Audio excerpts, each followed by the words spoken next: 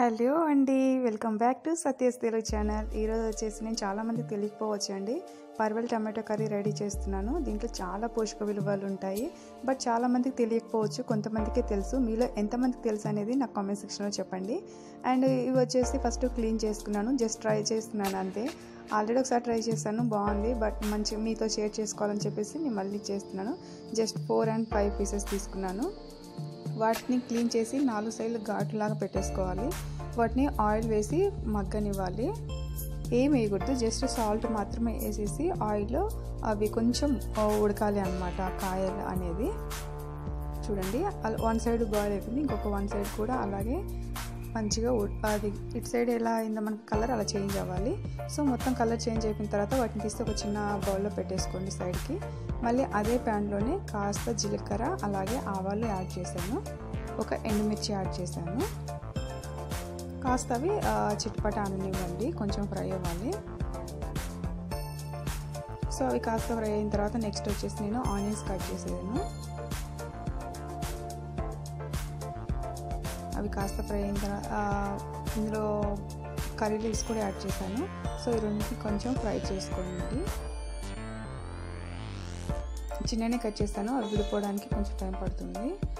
So అవి కొంచెం మంచిగా ఫ్రై అయిన తర్వాత అందులో జింజర్ గార్లిక్ పేస్ట్ యాడ్ చేసుకోవాలి. కొంచెం కలర్ చేంజ్ అవ్వాలి. ఆల్రెడీ మనం సాల్ట్ యాడ్ చేసాం కానీ సపరేట్గా యాడ్ చేయకండి ఇందులో ఆనియన్స్లో. ఫ్రై అయిపోతాయి. ఆటోమేటిక్గా కలర్ చేంజ్ అయిపోతుంది. చూసారు కదా? సో తర్వాత ఇందులో జింజర్ గార్లిక్ పేస్ట్ యాడ్ చేశాను. ఇది కూడా కొంచెం ఆ పచ్చి వాసన పోయే వరకు ఫ్రై చేసుకోవాలి. చాలా వరకు నాకు తెలిసి చాలామందికి తెలియదండి పర్వాలు అనేది కొంతమందికే తెలిసి ఉంటుంది బట్ మీకు సూపర్ మార్కెట్లో అవైలబుల్లో ఉంటాయి. ఒకసారి తెచ్చుకొని మీరు ట్రై చేయండి. చాలా బాగుంటుంది.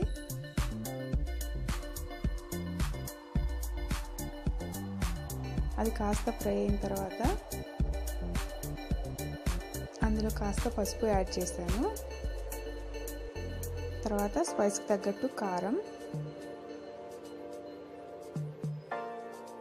నెక్స్ట్ కాస్త ధనియా పౌడర్ యాడ్ చేశాను. ఫ్రై చేసిన ఆ పౌడర్ చేసిన ధనియా పౌడర్ ఇది. వీటిని మొత్తాన్ని బాగా కలుపుకోండి. ఆయిల్లో కొంచెం ఫ్రై అవ్వాలి మసాలా అనేది. కొంచెం రోస్ట్ అయిన తర్వాత ఇందులో చిన్నగా కట్ చేసుకున్న టమాటో యాడ్ చేసుకోండి నెక్స్ట్.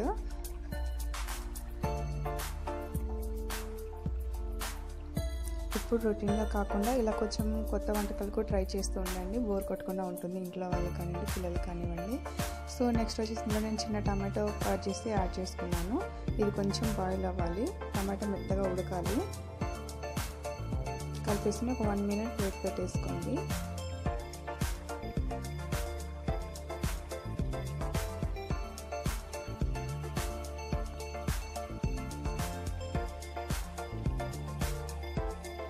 అందులో నేను కాస్త సాల్ట్ యాడ్ చేశాను. సాల్ట్ ఆల్రెడీ మనం పర్వాలు ఫ్రై చేసుకునేటప్పుడు యాడ్ చేసుకున్నామండి. సో చూసి కొంచెం యాడ్ చేసుకోండి. మనం ఇందులో ఎక్కడే కానీ వాటర్ యాడ్ చేయట్లేదు. ఒకవేళ మీరు వాటర్ యాడ్ చేయాలి అనుకుంటే డైరెక్ట్ ప్లెయిన్ వాటర్ కాకుండా కొంచెం చింతపండు వాటర్ ఉంటుంది కదా అది యాడ్ చేసుకోండి. టమాటో మంచిగా మగ్గిపోయింది చూడండి. ఎందుకంటే ఇందులో వాటర్ యాడ్ చేస్తే అంతగా బాగోదు.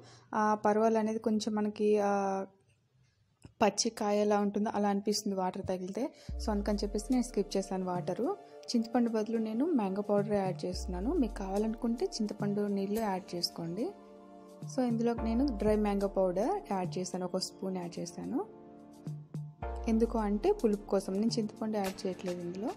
మీకు కావాలనుకుంటే చింతపండు వాటర్ యాడ్ చేసుకోవచ్చు. ఒక వన్ మినిట్ ఇలా ఫ్రై చేసుకొని మనం ఆల్రెడీ ఫ్రై చేసి పెట్టుకున్నాం కదా ఆ పర్వల్ అనేవి అవి ఇందులో యాడ్ చేసేసుకోండి.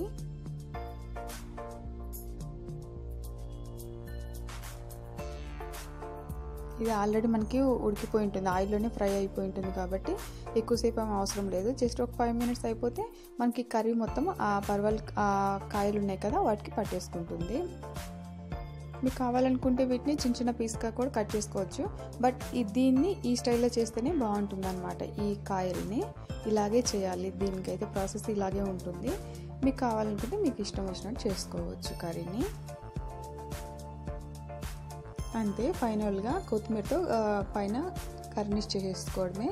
చాలా సింపుల్ అండి. రెగ్యులర్గా చేసుకునే దానిలాగే ఉంటుంది.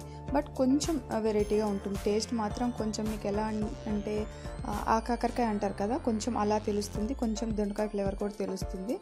బట్ టేస్ట్ అయితే చాలా డిఫరెంట్గా ఉంటుంది. తప్పకుండా మీరు ఒకసారి ట్రై చేసి చూడండి. ఈ సీజన్లో వర్షానికి బాగా దొరుకుతాయి ఇవి. సీజన్ బట్టి మన కూరగాయలు కూడా తెచ్చుకోవడం బెటర్ అని చెప్తున్నాను. ఎందుకంటే హెల్త్ పరంగా చాలా బాగుంటుంది. సో కొత్తిమీరతో ఫైనల్ డిష్ అవుట్ చేసేసుకోవడం అంతే చాలా టేస్టీగా ఉంటుంది. మీకు నచ్చిందా? ఖచ్చితంగా నచ్చితే లైక్ చేయండి షేర్ చేయండి అలాగే కామెంట్ కూడా చేయండి. కొత్తగా ఎవరైనా నా ఛానల్ చూస్తున్న వాళ్ళు ఉంటే నా ఛానల్ని సబ్స్క్రైబ్ చేసుకోండి. నా నోటి నోటిఫికేషన్స్ ఎప్పటికప్పుడు మీకు వస్తుంటాయి. నెక్స్ట్ వీడియోలో మళ్ళీ మిమ్మల్ని మీట్ అవుతాను. అంతవరకు keep smiling take care bye bye